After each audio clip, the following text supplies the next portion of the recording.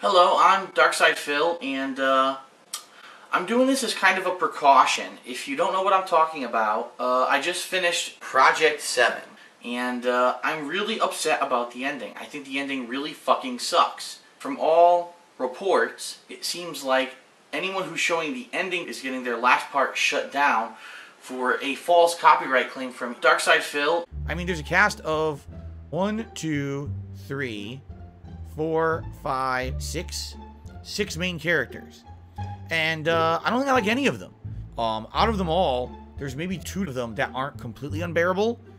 Uh, three of them are. Like, three of them are absolutely, like, terrible characters that I hate their guts. I think they're shitty. Shitty people, as well as just unbearable dialogue. Some of the worst, most cringeworthy dialogue I think I've ever experienced. No exaggeration. Huh, you know, it's kind of funny. I remember playing this really shitty game. And it is a false copyright claim because as long as you're giving your own commentary and criticism, it is not a valid claim. DSP might try to shut down the ending which I recorded. They cannot shut down this part, this video because this is going to be me speaking from the heart and telling you about the ending and explaining to you why I think it's bullshit. So fuck them if they try to shut this video down. You have no grounds to do anything like that. Before I start talking about the ending, the plot, the characters are unique. The characters are very uh, individualized and you really want to find out what happens to them. You really want to flesh out their characters and follow their plots and storylines. But I am very, very disappointed with the ending and I'm going to tell you why. Um, number one, I did my research, okay? I really did. I, based off of the comments on my original video, that was the ending. I looked into it and I understood what was going on in that ending.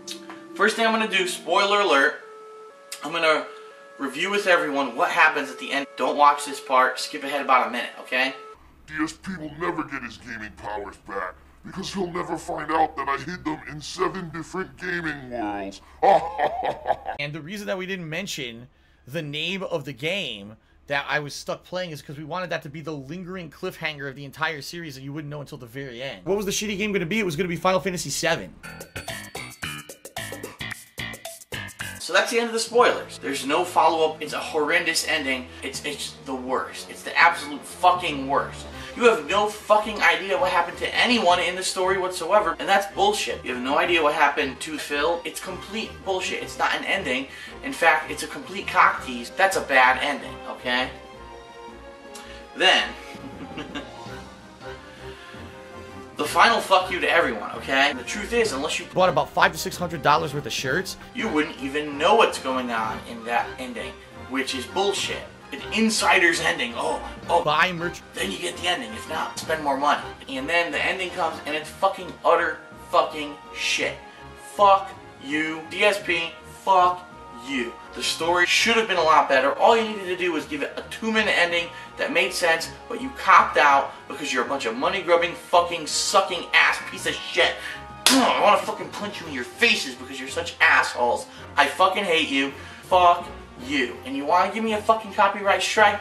Fuck you. You can suck my cock. Good luck giving me a copyright strike on this fucking video because this is my opinion of your shitty fucking ending. That's it. This is DSP.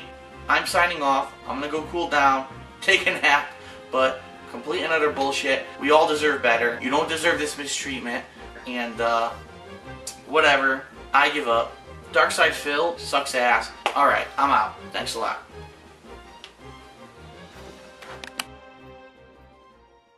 Ren Jesse James Cheers says, Do you have any shirts in small? I have no idea, and honestly, they've been sitting in a bin for six years.